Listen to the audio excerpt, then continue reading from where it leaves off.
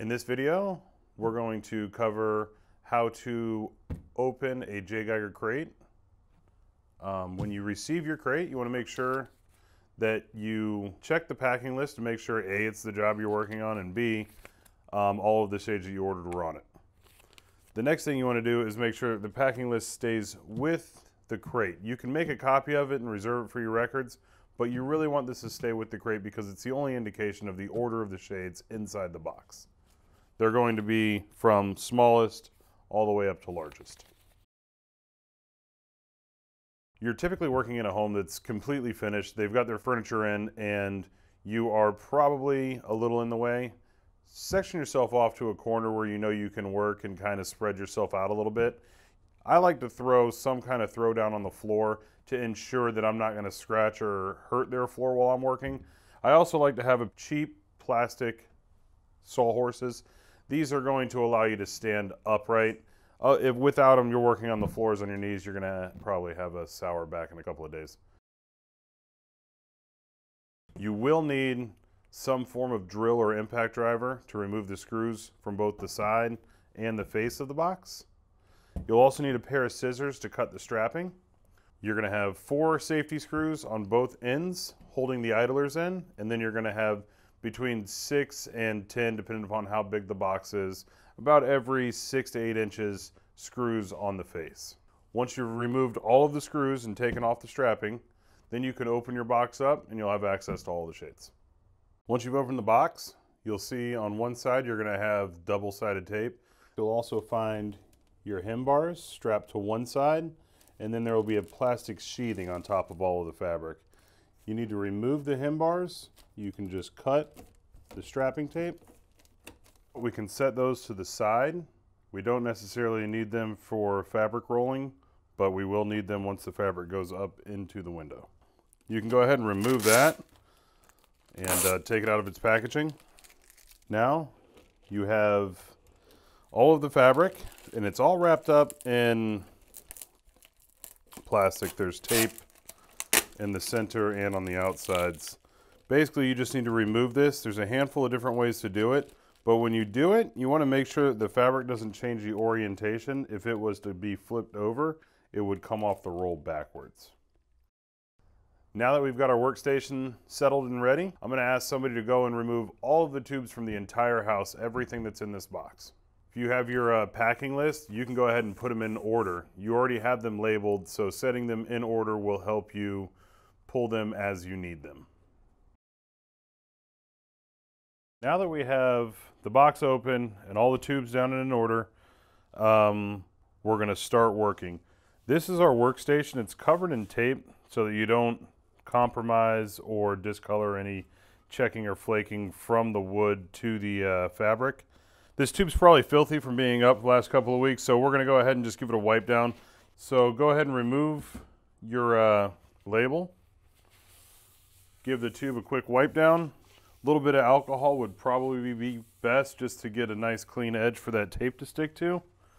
You can come back down to your work surface and then the tape. I try to start with a nice clean piece and if you want to remove your idler, you can, but don't forget not too many times. Overhang just a little bit, maybe a half inch or so, and then try to follow this spline line perfectly straight. I'm not asking for much other than perfection. Once you get to the edge, you can take your razor knife and score off flush to the tube. Once again, looking for our high vis dot. It's not always going to be green, but it'll always be high vis. Once you see the dot, you can go ahead and remove that piece of tape. All that's telling you is that that side is the side that you want stuck to the tube. So I know this is the side I want stuck to the tube, insinuating it's regular roll. If it was reverse roll, the dot would be on this side. Remove all of the pieces of tape all the way down. Once again, a larger shade is going to need multiple people to get on straight. There's the label that it comes with. It tells you what fabric it is. It tells you what size it is and the company and PO number and all the things you might need to know. Some people remove the uh, tape shield uh, before they pull the fabric up. If you do that, you're kind of working with a loaded weapon. So just, just leave it on until you're ready. Once I have my fabric underneath, this is how it would work if it were regular roll. Remove the shield.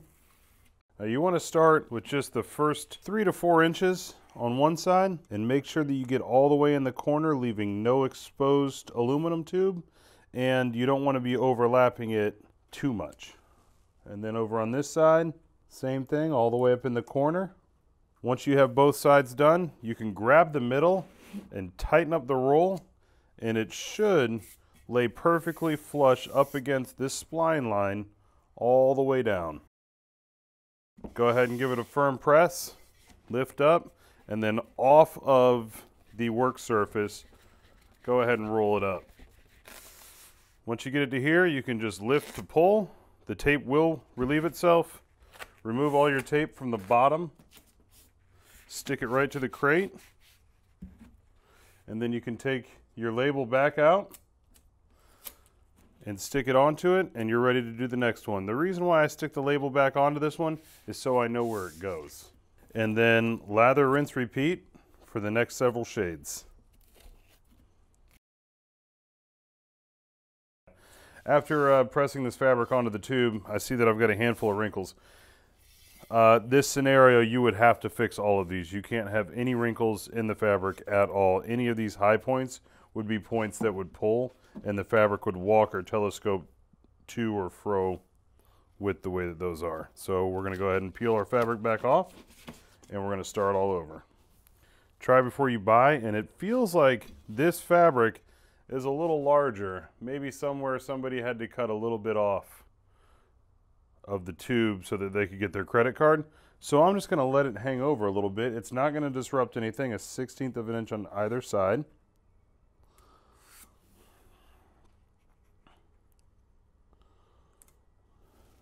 And now tighten it on the roll, press down, and making sure that you are pressing out any wrinkles that you might have. And once you've got a nice flat surface, go ahead and roll that up. Kick out your coattails, remove the tape, and put on your label. The installation of the hem bar is obviously quite simple, but there are a couple of things that you need to think about before you do it. Um, it's going to be a quarter of an inch on either side shorter than the fabric, so a half inch less than the tube width. Every single one is going to have a label on it. You can remove that label once you get it. And then on the opposing side, you're going to have double-sided tape again. You're going to remove both of these as well. And that's just so the hem bar doesn't become a weapon later on during the installation process. That's, it says nowhere in the J. Geiger handbook that you need to install the hem bar before you install the shade. You 100% can install the shade first and then install the hem bar afterwards if you wish to or can. If you can't, however, You'll have to do this down on the ground. Give a visual inspection of the hem bar. If it's got any bends or twists, you can try and get them out. Um, we monitor this pretty good, but if anything happened during transit or here at the box, uh, just try and make sure that it's perfectly straight. This one seems to be pretty darn good. Your double-sided tape goes to the back of the shade, this being a regular rolled shade. We're gonna go ahead and install it like this. If you give a little pinch to the fabric, you can set the corner in and then you should be able to get it in. Don't forget you got that tape in there so you don't want to stop. Once you get it about a quarter of an inch in, then you can go ahead and bring it to the bottom and set it on that tape. This shade is ready to install.